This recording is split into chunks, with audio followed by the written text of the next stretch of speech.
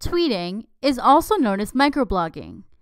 This means you send out short posts daily or multiple times a day.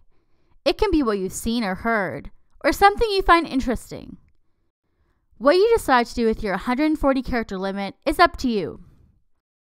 For more definitions of terminology you'll find around Twitter, check out our Twitter terminology tutorial. I'm Allison from techboomers.com, and I'll show you many ways you can tweet on Twitter. In this tutorial, you'll learn how to tweet, how to tweet photos, how to add at mentions and hashtags, how to tweet links, and how to tweet what you find on the web. First, I'll show you how to tweet. Sending out a tweet is easy. There are multiple shortcuts all over Twitter where you're able to compose a new tweet. On your Twitter timeline, you can click and type in the bar that says what's happening to write a tweet. You can also click the compose button, which says tweet, anywhere you see it on Twitter. When you click in the box, it will expand, giving you some more room to type. Click in the white space and type in whatever's on your mind. In the bottom right, to the left of the tweet button, is a character count. It always starts at 140 characters and counts down, so you'll always know when you're running out of space for a tweet. Once you're done writing, click Tweet to send it out to the Twitterverse. Now, all your followers will see what you've just posted. Next, we'll look at how to tweet photos. You can make your tweets more colorful by adding a photo.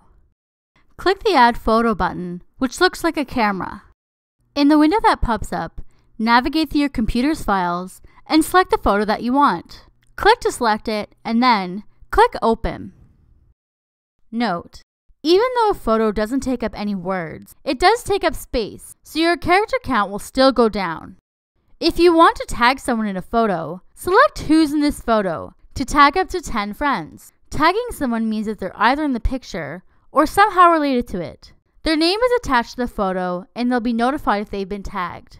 Click in the search bar and then type a friend's name or Twitter handle. Then, click on them when they appear to select them.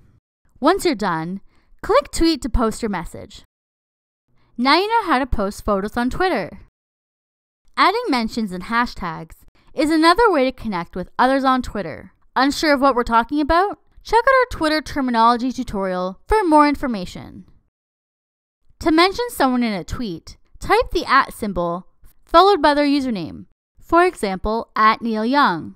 When you're mentioning someone in a tweet, it means they were involved in what you were tweeting or you want them to be notified of your tweet. Twitter considers it to be conversational, and your tweet will only show up in your feed, the mentioned person's feed, and the feeds of followers you both have in common.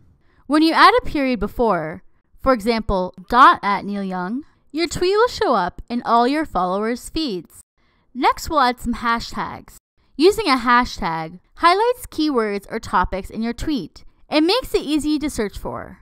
This means if you tweet hashtag Music Monday, it will be part of the results for anyone who searches Music Monday in the search box. You can hashtag anything from a word to an event or a phrase. Just be sure not to use spaces for anything you intend to hashtag. Click Tweet when you're done adding hashtags. You'll notice that hashtags show up as different colors, almost like a link.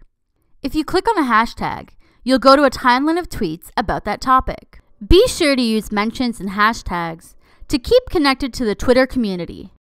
But what if you find an interesting article online? I'll show you how to tweet links to all your followers. So you found a link to a web page you find interesting. However, as you may know, many links are long and don't leave any room for you to say much else.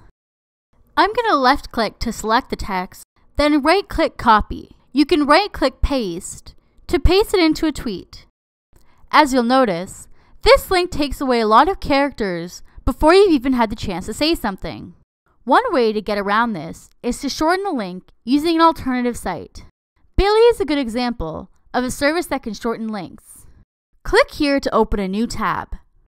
Type bit.ly.com in your web browser, then press enter. Copy the link you want to use for Twitter, then paste it here to shorten it. Then, click Shorten. Click either Copy button to quickly copy your link. Take the link and paste it into your tweet. Type what you want to say and then press tweet to share. Now you know how to share links on Twitter and how to shorten them.